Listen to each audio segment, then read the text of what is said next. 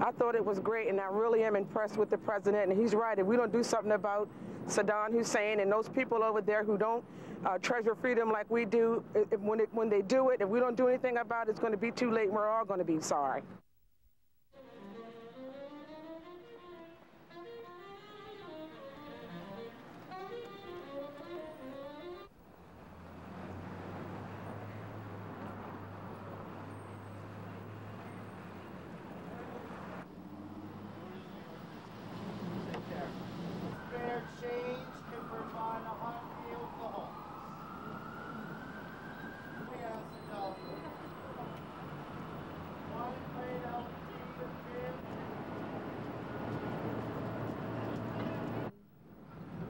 There was a lot about Iraq, and I know that's on people's minds, but, um, you know, we need to pay attention to the economy as well. So I was a little disappointed there wasn't a lot more about that.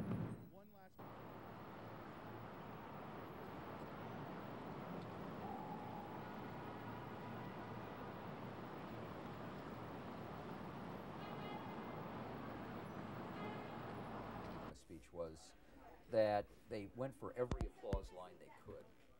But frankly, with a fairly short shrift given to the economic plan and almost a throwaway on the dividend tax cut, very little detail about what he intends to do with Medicare.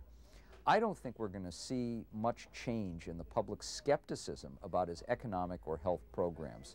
The president has a much tougher sell, ironically now, I think, on his domestic program with a skeptical Congress and a public where his approval is much lower on those specifics than on him generally, than he does uh, with Iraq.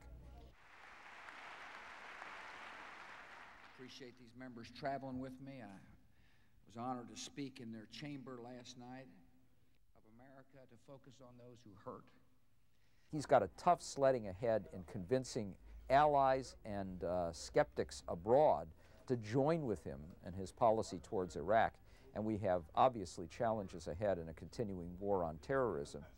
But if he can't get the domestic house in order and can't get basically Congress and both parties behind him on the international side, then uh, it's going to be a very tough year.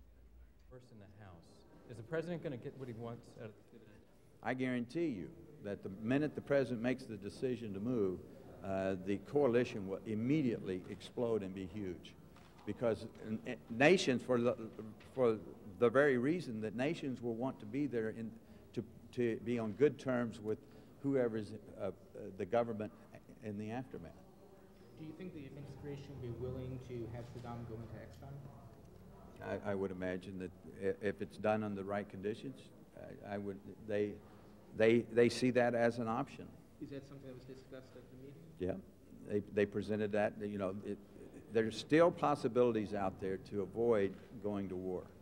The man who orchestrated the evil attack that killed some 3,000 innocent American men and women on September 11th. What the White House has done is to deflect attention away from our inability to neutralize the Al Qaeda leader and onto the dictator of Iraq. Frankly, this approach may be good politics, but it is not good public policy.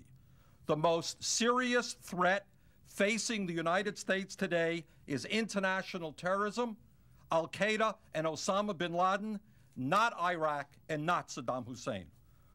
Okay, shall we begin here with my friends? Shall we begin?